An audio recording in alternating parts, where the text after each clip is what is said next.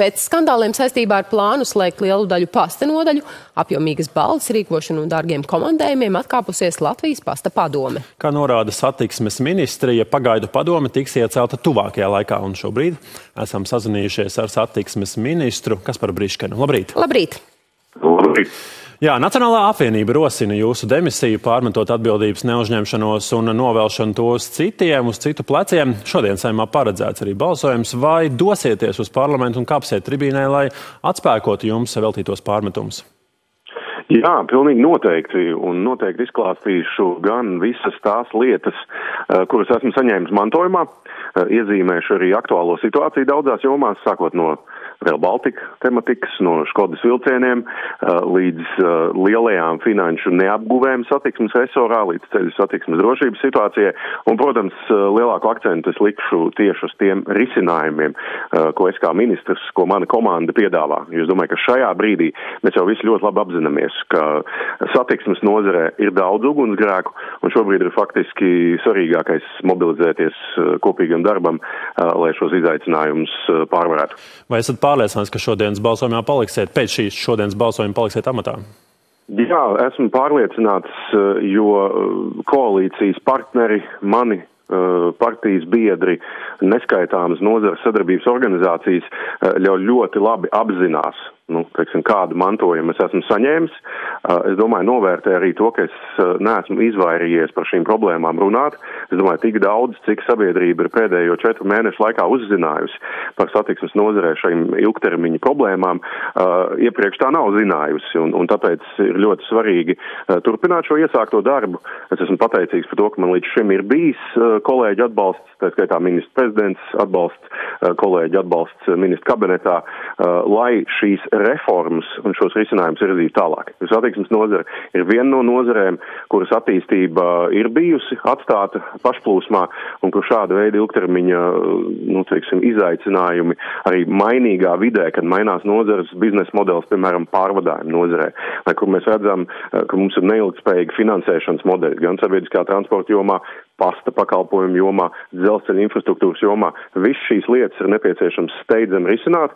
Es to esmu apņēmies darīt un uh, ar lielu uh, pagodinājumu turpināšu to darīt. Jā, nu pat pieminējāt tieši pastu. Jā, un, protams, ķersimies arī pie pasta nedēļām. Izskanējis, ka šodien jūs varētu jau uzrunāt iespējams konkrētus kandidātus pagaidu uh, valdei. Uh, sakiet, kādi būs uzdevumi, kas tiks izvirzīti šai, nu, sākotnēji jau pagal, pagaidu valdei? Nu, pirmais uh, un svarīgākais uzdevums, protams, ir atgriezties uh, pie pasta attīstības stratēģijas pārskatīšanas.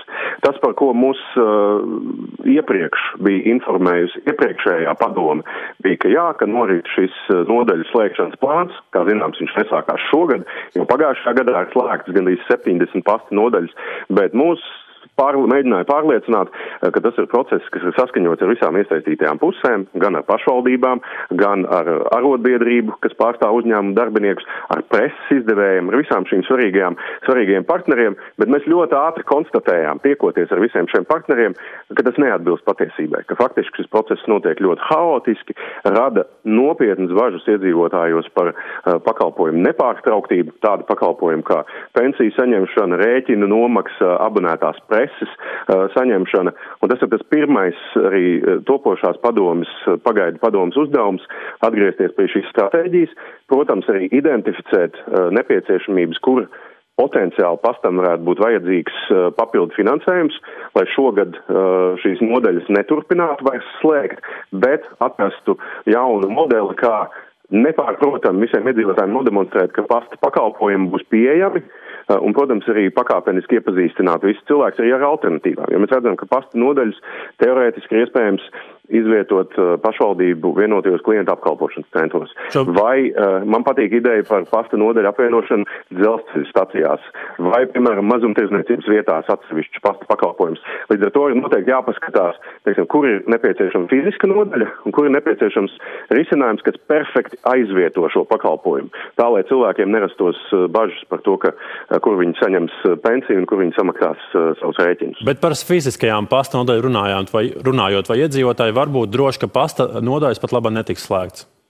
Pilnīgi noteikti šo līdzšanējo reformu mēs esam apturējuši līdz brīdim, kad visas puses nebūs apsēdušās pie viena galda un atradušas līdzsvarot stratēģiju, kuras būs pietiekami paskaidrota tieši klientiem, mūsu iedzīvotājiem. Un šeit etalons nav, teiksim, tā mēraukla nav uh, cilvēks, kurš spēja ātri pielāgoties digitāliem risinājumiem, mainīgiem apstākļiem. Šeit tā mēraukla ir seniors reģionos, kuram pasta nodaļa ir ierasta vieta, kur saņemt visus šos pakalpojumus. Un līdz ar to ir, ir, ir svarīgi visiem sēdēt pie viena galda un izveidot stratēģiju, kas nerada sabiedrībā šaubas par to, vai vispār šie pakalpojumi būs pieejami. Par elektrovilcieniem pavisam īsi, vai tie šobrīd kursē pēc plāna, vai tur problēmas ir novērstas?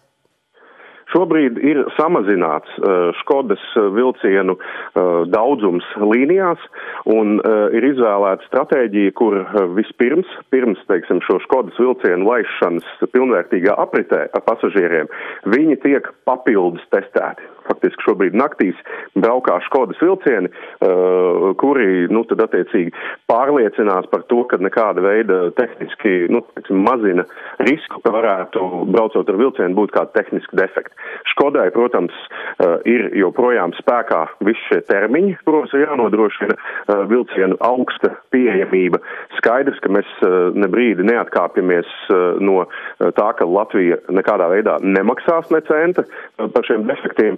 Nu, un attiecīgi komanda strādā, lai, lai pirmkārt nodrošinātu nu, teksim, kustības nepārtrauktību, un tad jau pakāpeniskāk uh, ieviest Škodas uh, jau plašākā daudzumā uh, apakaļ līnijās. Jā, Bet mēs pavisam... redzam, ka šobrīd tā kustība uh, ir, ir, ir nu, teicīgi, mazāk pārālumu nekā tas ir bijis iepriekš. Pavisam īsi, kāds ir pašreizējais līgumsots Škodē Vagonka?